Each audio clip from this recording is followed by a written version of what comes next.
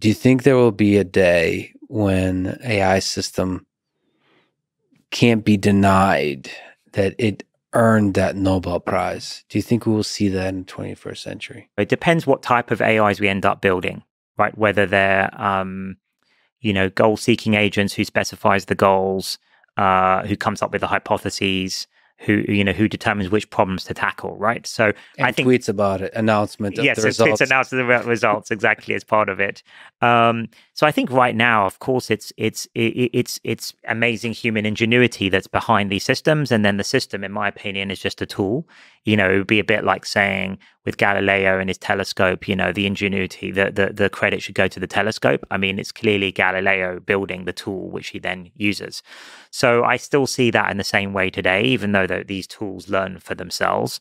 Um, they, I think of, I think of things like AlphaFold and the, the things we're building as the ultimate tools for science and for for acquiring new knowledge to help us as scientists acquire new knowledge. I think one day there will come a point where an AI system may solve or come up with something like general relativity off its own bat, not just by averaging everything on the internet or averaging everything on PubMed. Although that would be interesting to see what that would come up with. Um, so that to me is a bit like our earlier debate about creativity, you know, inventing Go rather than just coming up with a good Go move. And um, so I think uh, solving, I think to to you know, if we wanted to give it the credit of like a Nobel type of thing, then it would need to invent Go uh, and sort of invent that new conjecture out of the blue.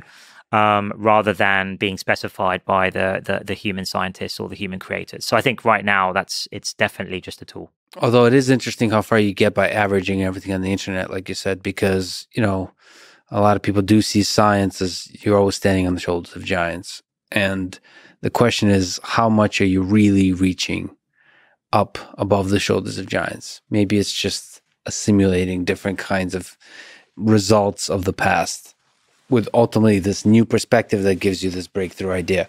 But that idea may not be novel in the way that it can't be already discovered on the internet. Maybe the Nobel Prizes of the next hundred years are already all there on the internet to be discovered. They they could be. They could be. I mean, I think um, this is one of the big mysteries. I think is that. Uh, uh, I, I, first of all, I believe a lot of the big new breakthroughs that are going to come in the next few decades, and even in the last decade, uh, are going to come at the intersection between different subject areas, where um, there'll be some new connection that's found between what seemingly were disparate areas. And, and one can even think of DeepMind as, a, as I said earlier, as a, as a sort of interdisciplinary between neuroscience ideas and, and AI engineering ideas uh, originally. And so, um, so I think there's that. And then one of the things we can't imagine today is, and one of the reasons I think people we were so surprised by how well large models worked is that actually it's very hard for our human minds, our limited human minds, to understand what it would be like to read the whole internet, right? I think we can do a thought experiment, and I used to do this of like, well, what if I read the whole of Wikipedia?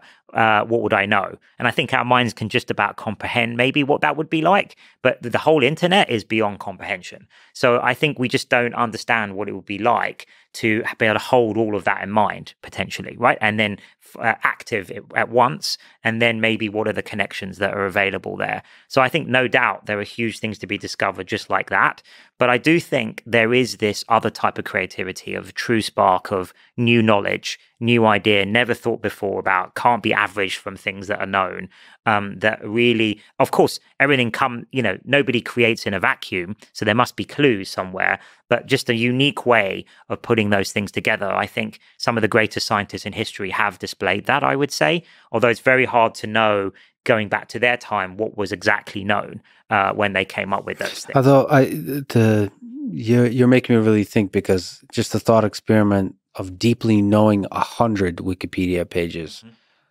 I don't think I can. Um, I've been really impressed by Wikipedia for for technical topics. Yeah. So if you know a hundred pages or a thousand pages, I don't think you can visual truly comprehend what's what kind of intelligence that is. Yeah. It's a pretty powerful intelligence. If you know how to use that and integrate that information correctly, yes. I think you can go really far. Yeah. You can probably construct thought experiments based on that, like simulate different ideas. Mm-hmm. So if this is true, let me run this thought experiment, then maybe this is true. It's not really invention, it's like just taking literally the knowledge and using it to construct a very basic simulation of the world. I mean, uh, some argue it's romantic in part, but Einstein would do the same kind of things with uh, thought experiments. Yeah, right? one could imagine doing that systematically across yeah. millions of Wikipedia pages plus PubMed, all these things. I think there are many many things to be discovered like that that are hugely useful. You know you could imagine uh, and i want us to do some of these things in material science like room temperature superconductors is something on my list one day that i'd like to like you know have an ai system to help build better optimized batteries all of these sort of mechanical things i think a systematic sort of search could be uh, uh, guided by a model could be um, could be extremely powerful